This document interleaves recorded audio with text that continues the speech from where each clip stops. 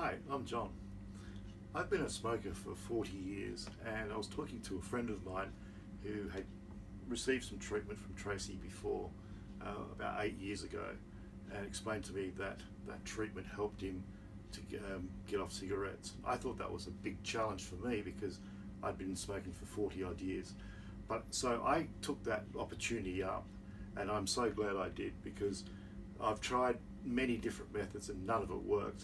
But I've been now here, this is, this is the second time I've come, it's been a, a two week program for me and it has just worked beautifully. And even uh, people that I come across now who are friends and colleagues who are smokers, they've, they've sort of quite amazed uh, with what's happened and so I've encouraged them to, to seek the same sort of treatment.